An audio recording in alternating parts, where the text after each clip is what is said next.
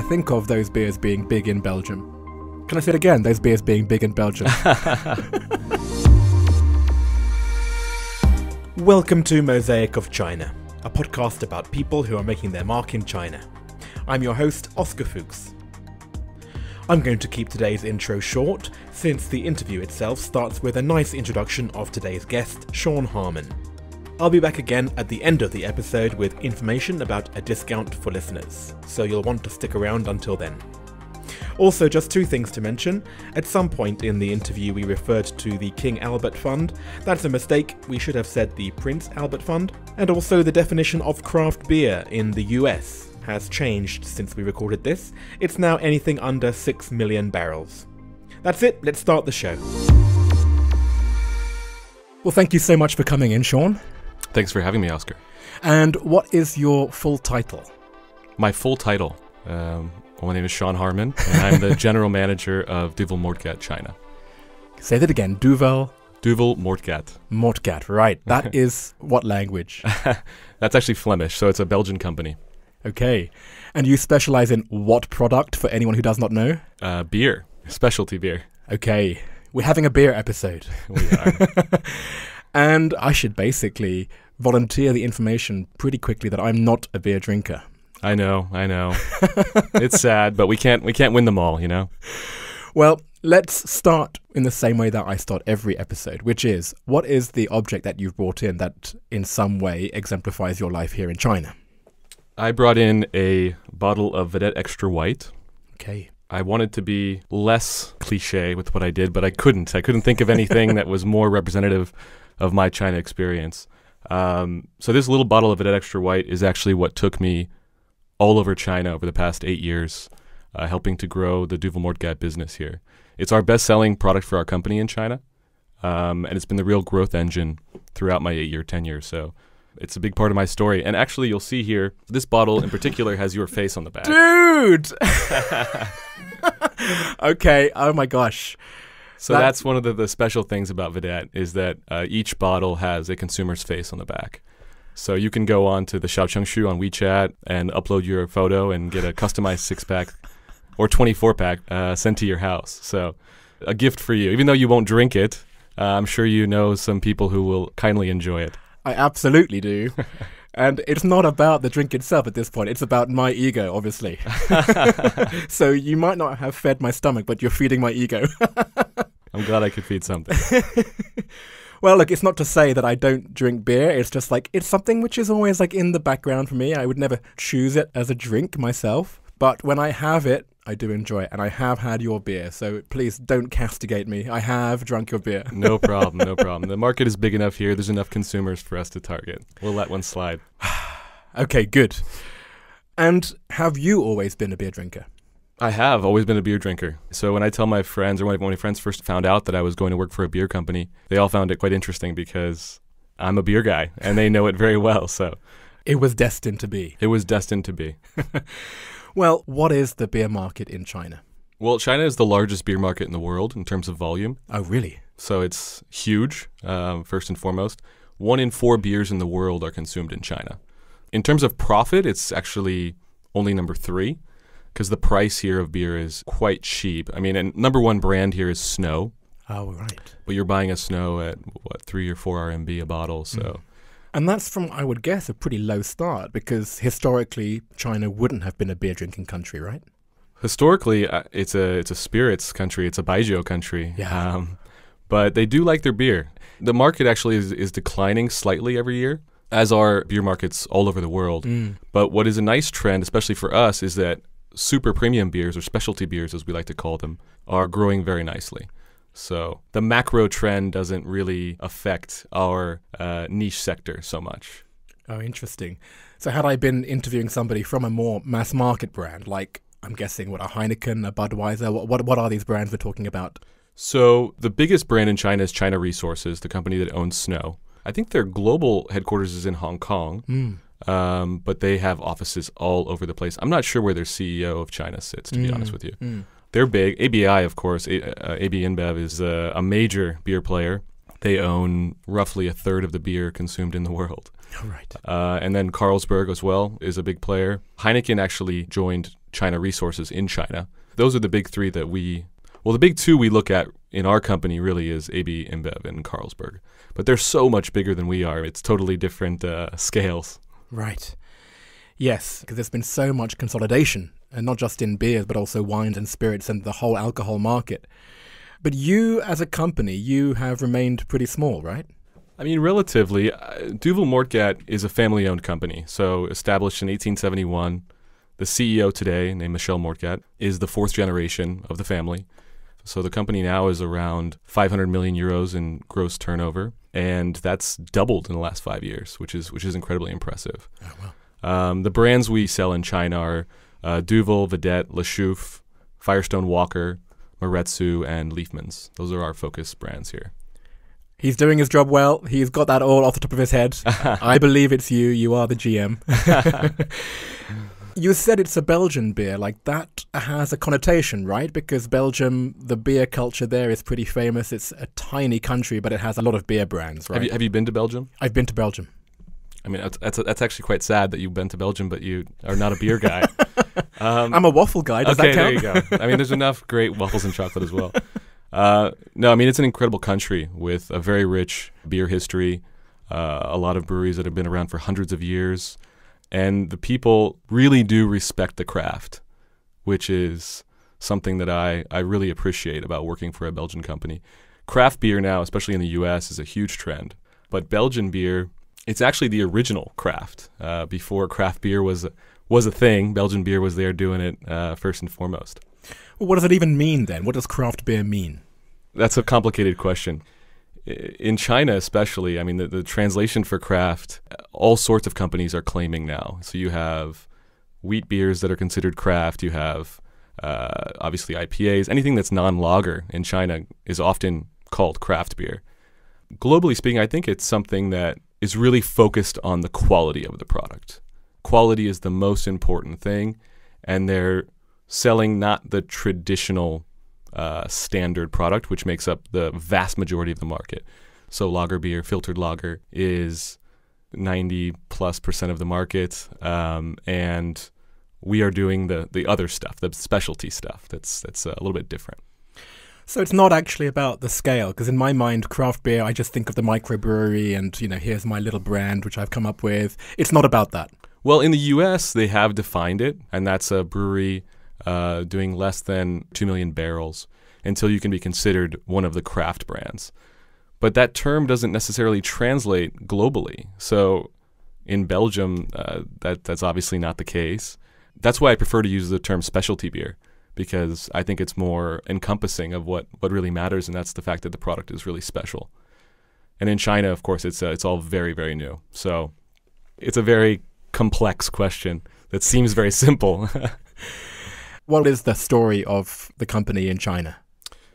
It was started um, in 2006, technically. The first container arrived in 2007, which at that time for Belgian beer was extremely early.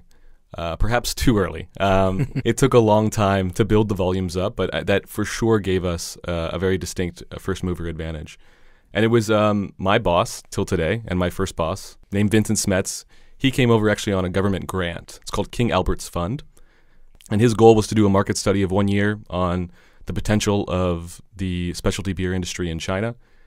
He completed that study. He said, "You guys should definitely open an office, and you should hire me to do it." And uh, that's a smart conclusion. it was a smart conclusion, and, and he did an excellent job. I mean, he, he from the very early years, he was a, a one man kind of Spartan operation, mm. um, and then slowly but surely we grew. I joined in 2012. That was here in Shanghai. And what was interesting about us, we did our own distribution, um, which for many brand owners, that's a it's a very rare approach. But at the time, I think we were so early that the distributors didn't want our beers. Our beers were too expensive, they were too strong, they tasted funny. You know, people didn't get it. So it took time for that to kind of catch on and the market to change. So we decided to basically create our own distribution network. We were delivering the beer to the bars, we were doing the sales, we were collecting the money. Uh, it was a very, very labor-intensive uh, time in the in the company's uh, history.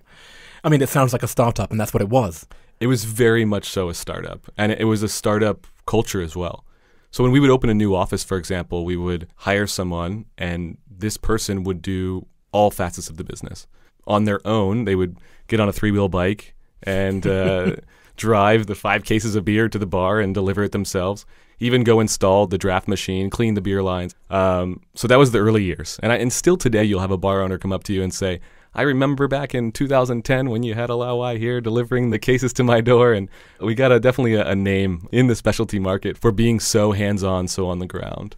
Yeah, and totally visible, I guess, as well. Especially since like it was a foreigner in one of these more provincial cities, right, riding one of those scooters full of beer. Yeah, exactly. I can picture it in my head now. Is that how you started in the company? I started a little bit after the most laborious days. Uh, right. But yes, I was very much doing uh, a lot of labor aspects of the business. I packed glasses and coasters into boxes when a distributor would order. And yeah, it was fun. It was very fun to look back on. And there's a lot of uh, good times. Well, that's exactly what I sense when you're talking about it. You know, I can see the smile come over your face. I can see your eyes light up. You know, that part of the business when you're really growing it, the expectations aren't there either. Like it's almost experimental. You can just play, right? That's exactly right. And you wouldn't think that a global player would start a market like that. They were hands off. They said, you guys go grow the business. If you need something, reach out and we'll try to support you in any way we can. And I think that's what made it work. So we started really in seven core markets. That seems quite a lot, actually. I think for you to regionalize so quickly probably is uh, not what everyone would have thought that you should do.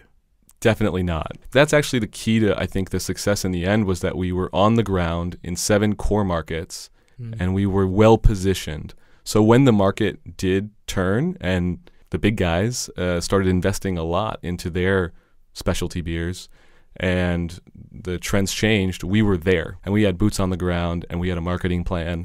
That's really what I think propelled us, yeah, last eight years or so.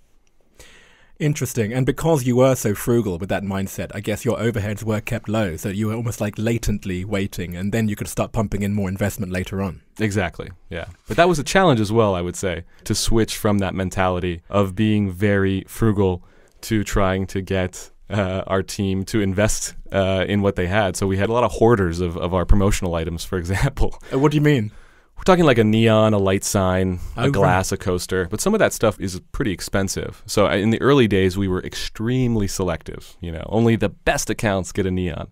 Uh, and now we have KPIs for our sales teams that they need to go out and give out X neons in the quarter. Right. So changing that mentality uh, of our team uh, took some time.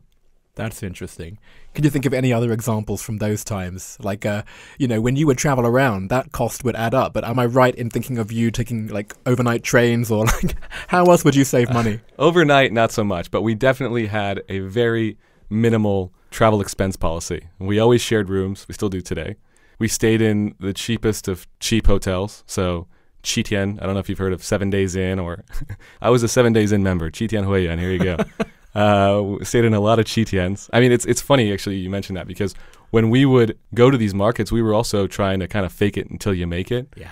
Uh, we had to meet distributors, so I would basically take a train to a, a city where I saw that we didn't really have much sales, and I would go around and try to find the bars selling any specialty beer, whether it's Hoegaarden or Corona, anything that's not Qingdao or, or, or Snow and I would try to find the guy that sold that beer to them and try to have a meeting with that guy. And oh, I see. So almost like reverse engineer what you saw other beers do. Yeah, exactly. Right. Uh, because we didn't have the contacts. This is after we kind of shifted from only our own distribution to saying, okay, now we want to expand distribution. Right. So I would arrive in the city, but I didn't want this big distribution company to think we were some tiny startup. So I remember this one in particular city. I would stay in the Qitian, which was next to the Shangri La. yes. And when the distributor would come pick me up for dinner, I would say, just pick me up at the Shangri La. I'd walk across the street oh. and uh, and wait in the lobby of the Shangri La, and then he'd drop me off back there at the end of the evening. And uh, I love it. Fake it till you make it. You know. Yeah. No, but this is. I mean, this is entrepreneurialism. I mean, when I was starting my company, I used to have this lovely suit, and I used to meet at these great hotels, just like you did. And then I would like around the corner be eating like a rice snack in the gutter. exactly. I don't know if I could do it again, but it was it was really a it was a trip. It was a ride. Yeah. Well, you've said then there's been a challenge now to move away from that mindset, and now you do have more budget. I guess the stress now is that, okay, you've proven yourself, you've got to a level where you've got this much growth. What's the next stage? And, you know, what's the next pressure point? Is that the period of growth that you're in right now? Absolutely. I mean, the big lager players are investing heavily into the specialty sector. So we must stand our ground. We have to defend our market share, grow our market share. So the, the strategy now is invest, spend, and spend wisely. We don't just spend to spend, we, we try to spend as clever as we can. But in a way, it's a different skill set for you as a GM. I would say it kind of comes naturally somehow. I mean, that's what you do when you're growing is you just rise to the challenge. There's problems every day and you just have to try to attack it, you know, whatever it may be. So marketing is a great example because digital is extremely complex. It's kind of a double-edged sword because it's the best bang for your buck in terms of generating brand awareness, but there's also a lack of transparency. I mean, mm. there's these these influencers, KOLs. There's a lot of fake data. Oh, really? yeah. Yes. Um, so you have to be aware of what's happening. It, it took some trial and error for sure, but we learn fast. Let's just define this KOL term. It means key opinion leader. So it's an influencer basically. Right. So in China, like this is what you need to use to promote your brand. You need to find the right opinion leader, right? Well, there's I mean there's lots of different ways to invest in marketing, but one of the best channels for sure is through KOLs. Uh, it's just how to do that in a way that you're still efficient and you're not pumping money in to something which actually has, is a follower with 5 million bots instead of real consumers. I see.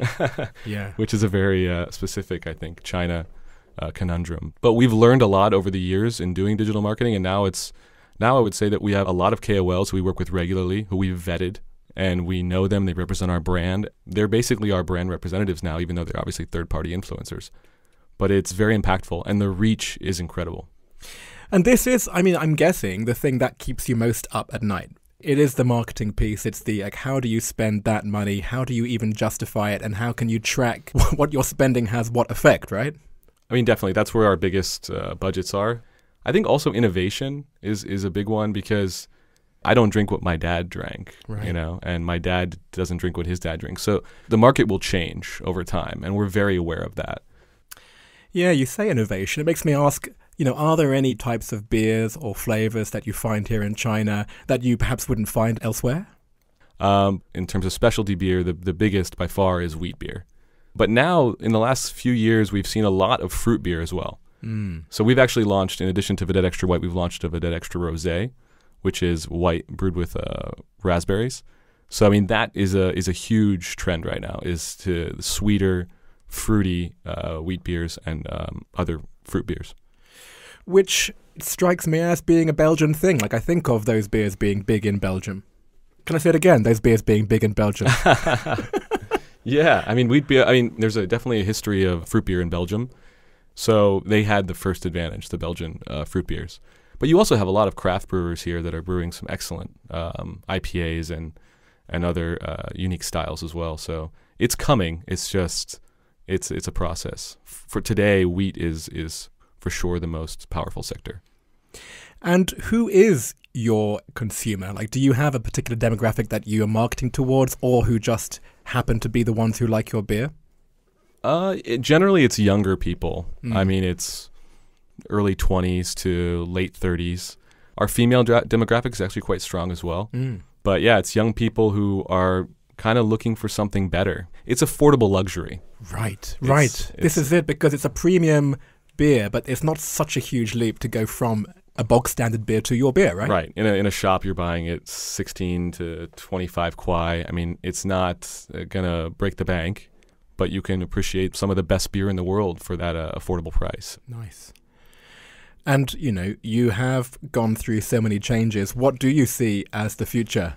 It's, yeah, it's a good question. I mean, I think that um, it's so hard to leave China. The growth the energy. I love the city. I love the people. Yeah, so we'll see. I mean, for now, it's a growth story. Yeah. And why not continue riding that wave while it lasts, right? Riding a wave of beer. exactly. that would be a dream to some people, less exactly. so for others. Thank you so much, Sean. Now let's move on to part two. All right, let's do it. 10 questions. Let's do it. Are you ready? I am ready. Am I ready? Question one What is your favorite China related fact? My favorite China related fact. There's so many. The easiest thing is to do with, with the scale of the country. Mm. This is maybe less true today after COVID, but a few years ago, China's economy was growing at the pace of one Australian economy every year. Oh, wow. Yeah, it's always interesting when you make that like for like comparison. Yeah, you know, because it your does. mind can't really understand the scale. Yeah. What does GDP growth mean? No, It exactly. means one new Australia. Yeah, it's a bit like when they say, "Oh, this is like five football fields." Yeah, worth." yeah. You, You can can kind conceptualize a little Yeah. bit. Yeah, exactly. Australia size. Question two: Do you have a favorite word or phrase in Chinese? Let's think. I think the one I, I, I really like is uh, it's a phrase, 车到山前必有路. Before the car reaches the mountain, there must be a road, which I think is really relevant here because things are often not that easy. But if you do keep pushing and you keep going for it, usually you will find a way. Mm. It, it really spoke to me when I first heard it. And it's it's simple Chinese. I mean, it's not Yes. complicated. It's not like one of these four character Chengyus, which you have to really really know the story behind it. It's very direct and uh, and it speaks to me. So I love that one. Yeah. And is it fatalism where the road will suddenly appear, or is it that you have to make the road? To me, it says just keep going. Mm, If you just keep driving, you keep going, the road will go through. I like it. Thanks so much. Never heard it. I'm going to use it. Please do. What's your favorite destination within China? It's such a big country, so You've traveled quite a lot, right? I've With traveled a lot in China. I've been to uh, most of the provincial capitals at this point. It's I, there's there's definitely more beautiful places in China uh, than Moganshan, but to me, it's kind of a sentimental place. I mean, we've we've had a lot of our annual company meetings there with our management team. Uh, we cook together, we run together through the mountains, we we do walks, and and we create the new strategy for the new year. I also go there with my friends uh, on weekends to get out of the city. To me, it has a very special place in my heart. I mean, now it's getting so built up, which is a bit of a shame. Yes, yes. Um, People like you keep talking about it, man. I know, I know. now I'm sitting here saying it on a podcast, which isn't helping my case, I guess. but If you left China, what would you miss the most and what would you miss the least?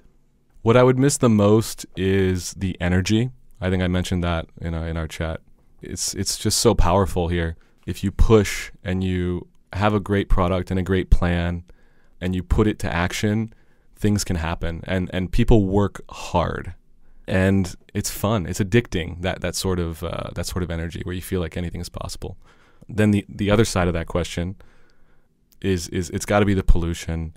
And it's not only the air pollution. I, I, for me, it's also the noise pollution. Oh, right. You know that the power drill. Uh, my boss used to call that the birds of Shanghai because it, it, you don't hear birds that often, but you do hear that power drill uh, frequently. But those two things that you've said, you don't get this energy, this growth, this movement without the sound of a growing city, right? Exactly, and that's why I'm still here. It, it evens itself out. You know, it's all worth it. Is there anything that still surprises you about life in China?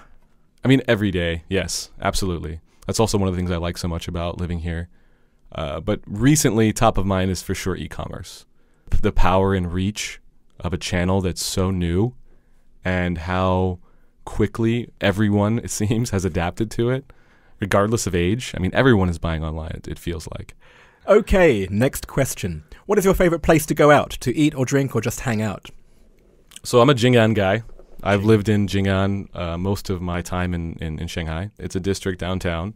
And our office is right at the crossroads of um, Wuding and Jiaozhou, which you know. We were very lucky to choose that location. We moved in there in 2011. At that time, there was no bars on that street. Uh, and uh, fortunately for us, they kind of built the road around us somehow. Being a beer company, we have a lot of clients on that street.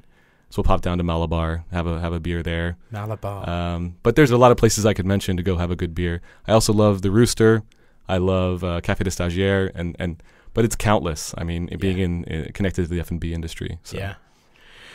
Well, I like Malabar because that has a nice, interesting link to Angie Wu from season one, who said the same bar. So Oh, maybe- really? Yeah. Okay. Maybe you're going to run into her there. Okay. Yeah, it's a great place. What is the best or worst purchase you've made in China? the best purchase. I've I've I've listened to some of your podcasts, and I, I was really trying to think of something different. but there's no better answer than the scooter. I mean, the scooter is oh, right. it, it shrinks the city. Mm.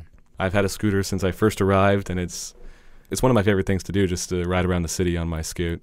My fiance also has a scooter, and we we love to cruise. It's it's it's amazing, especially when the weather's nice. What a beautiful romantic image you're giving me. Actually, I'm not even on mobikes now. I just walk everywhere. Wow. Yeah. What is your favorite WeChat sticker? Okay, he's getting his phone out. Let me just check mine. I don't know why I love this sticker, but if you talk to my colleagues, they will say that I certainly overuse this sticker. It's Denzel Washington in Training Day, and he just says "boom." I don't know why. It just makes me laugh. And when you get good news at work or something happens where you, Ah. you know, you land an account, and yeah, to celebrate a bit, just give an old Denzel boom. Okay, I'm going to use this one. That's a great one. It's also a great movie if you haven't seen it. I haven't seen it. Check it out. It's, it's worth watching. It's an action movie, is it? Yes, but with great dialogue. Okay. I'll do. Try it. What is your go-to song to sing at KTV? You know, I wish I was a better singer, but I'm not. Uh, I'm not great at KTV. I'm not the star of the room by any means. I, if I have to sing, and I will sing. I do like the. I used to very much like the Red Hot Chili Peppers, and he, he- the range of the the lead singer Anthony Kiedis. It does. He doesn't get too high or too low. Ah, right. So it's it's manageable without completely embarrassing yourself. um, maybe, uh, maybe by the way, if I have to choose one, and finally, what other China-related media or sources of information do you rely on? I was actually just this morning listening to the new uh, Sinica Business Brief. Right. It's a, I think it's a weekly podcast. It's like 20 minutes and it just updates you on kind of all that's happening in the world of China business. I also uh, read Axios on China. Right. Uh, it's a newsletter in your in your inbox. It's great. Interesting. So that's a, a- two great sources of uh, China news for sure. Yeah.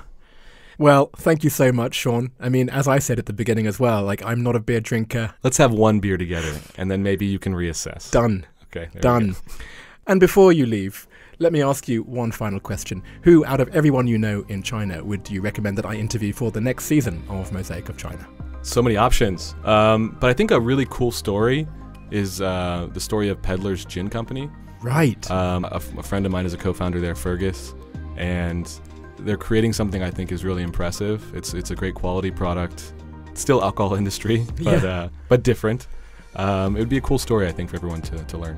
That's great. Well, maybe that is the equivalent story in the world of gin as you are in the world of beer. Yeah, it's a startup story for sure. Great. Thank you so much, Sean. Thank you, Oscar. It's been a pleasure. So, first things first, where's the discount I mentioned? For this one, you'll need to be in one of the WeChat groups for the show. I've posted a special QR code there, which you can scan to open the mini program. And from there, you can then upload a photo to print on a six pack of any Vedett beers, and you'll get a 30 RMB discount voucher on top. Cheers! Also in the WeChat groups and on the mosaicofchina.com website, you'll find the images alongside today's episode, including photos of the Duvel Moortgat team in Moganshan and elsewhere, one of Sean's boss and predecessor Vincent installing a neon, and one of Sean and his fiancée out and about on their scooters in Shanghai. Incidentally, there were four people from season one who chose their scooters as their best purchase in China, and one of them was Jorge Lucio, the China head of marketing for the Sprite brand at Coca Cola, from episode 5. Sean touched on the topic of digital marketing in today's conversation, but if you want to hear more, please listen to that episode with Jorge. There's also a secret digital marketing connection between Sean and Stéphane Ouimet from L'Oreal, who featured in episode 1 of season 2. The secret being that you can only hear that part of Stéphane's chat if you are a Patreon subscriber. Here are a few clips from today's extended interview over on Patreon with Sean. We ended up staying in Hong Kong for five weeks with, I think, three canceled flights. Right. We've worked with him this year, and, and the scale is unbelievable 30 million people watching. We've worked with a lot of different live stream sellers, and what we've realized is it's the big ones that actually do the trick.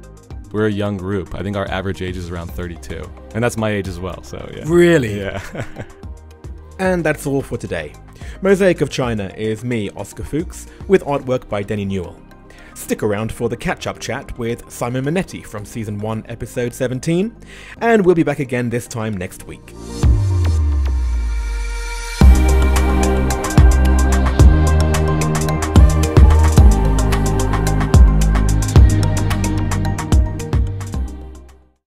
Hello, Simon. Hi. The dulcet tones of Simon Manetti. Hmm. How the hell are you? I'm tired. I've been off coffee now for maybe 12 days and it's hard. And I've been off booze since, just checking my watch, for eight days. And that's less hard, but now it's the weekend, so it's a true test. Ooh, that's right. Mm. So this is a January thing for you, is it? Mm. Yes. And you are visibly struggling. Thanks. It is Friday afternoon, first week back at work. negative Four degrees, so it's a tough time. It is. Well, let's start there then. So you said that it is the end of a long week of work, and that's Mm. one of the changes that I know has happened since our last chat. Mm. Was it not mentioned at all last time? No, maybe not. So I'm now managing director of Ritter Sport China, the wonderful German chocolate company that is very well represented in many expat stores in China. um, so it massively over-indexes amongst the uh, the expat community, but we need to grow among the true heart of China. Things like localizing the brand, uh, getting the portfolio right, and this Ritter Sport family cares very deeply about their impact on the world through the company. The the company they see as something that they was gifted to them through inheritance and it is their opportunity to do good in the world. So chocolate is actually just a vehicle to do good in the world. And every company you join will tell you you've just joined a family and they will say they care about you and that they have a purpose and a vision. But having been on the agency side, I've advised so many of those companies on how to structure their vision and their mission, and it's all so synthetic. Whereas you come to a company like Ritter Sport and you see it, there is an authentic value system driving this company. Um, so that has been an extremely motivating and uh, rewarding experience. So I'm, though I look exhausted, I am, um, I'm in a very very happy place. Nice. But I don't want to go into the chocolate industry. Okay. What I want to latch onto is the word family because that's another big change that we've had since our recording. What happened? So I have a baby boy, Louis Edward Manetti. Quite a mix of uh, of culture there. Um, and um, I have a wife that is five months pregnant. Dude! Yeah. Congratulations. yes. Yes. I'm glad that I caught you now before your life gets even more into a turmoil. Mm. so, Mm. what were you doing in the last year over COVID? Uh, so I was off to New Zealand for a wedding over the Chinese New Year period. And then, say, by Feb 6th or so, flights were cancelled and we had to make uh, a new plan. So, ended up with all of our summer gear flying directly into the depths of winter, or I should say, the tail end of winter in Europe.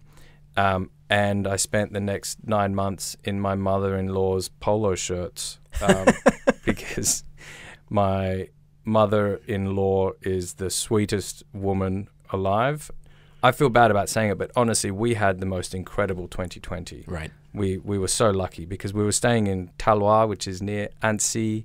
You're surrounded by beautiful nature. It's France, so the food and wine is spectacular. We were really really lucky. Yeah. I'm just going back to our original episode Mm. and I'm thinking about what you said about what you would miss the most and miss the least Hmm. if you left China. And you did leave China. So I wanted just to check on you and to see was that true. So what you said that you'd miss was the optimism of China. Because whenever you go to Europe, it's all grumpy and negative. And then what you said that you'd miss the least is when the internet doesn't work properly. Mm, interesting. So optimism definitely true, but when you move into the house of another, what I really missed was being able to be selfish and you know impolite, basically. impolite. Um, yeah, I found that challenging, and that would kind of build up. And in the end, I didn't get to see so many people because we were in lockdown, so I only saw those immediately around me. So yeah, I can't say that I tested that one. In terms of internet, I actually had a lot of problem getting stable internet in France as well. so both of those have been dispelled, really. Interesting. Yeah, I was wrong. On that note, let me say thank you again for coming in. It's great to see you, to have a catch up. The person you recommended for season two actually couldn't be part of this season, but I found a good replacement, so I will be posting this conversation at the end of that episode. Um, but I'm very happy that there is an excuse for us to be in the same room again, and I hope we have another excuse to do it again in the future. Me too. Lies!